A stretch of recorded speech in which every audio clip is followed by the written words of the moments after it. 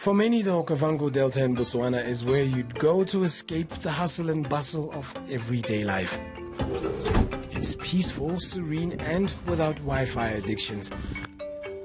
But it also lacks running water and electricity, making life tough for the people here.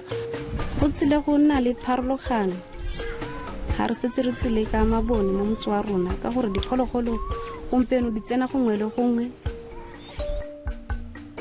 ga re ta re dirisa mabone di tsile go tshaba go tsena ka gore tabo go na le lesedi Sophia Lekroa is one of nine rural unemployed women from Botswana who were handpicked to receive solar energy training in India at the Rajasthan Barefoot College.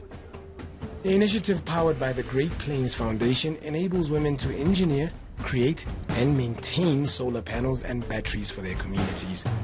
ke ke buseditswe ke ratilwe mo betsa mo ga ke a kgona go nna le tshono ya go boela ko ga ke ya go break. Yaanong botshelo o ka re ga se jone yaanong go yeng kwa ke go ithuta ke tsaya gore ke tatagela ke na le kitso e botoka. Over a period of six months, the Barefoot College in India became home. Daily workshops drill down into finer details of power generation, solar panels, and lighting system. But with newfound skills come challenges.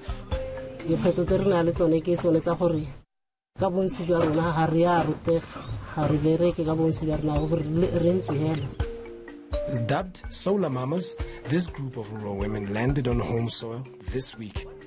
In the coming months, they will be responsible for bringing solar power to their communities. Best of all, they'll get to run their own business and power one home at a time. batho ba great plains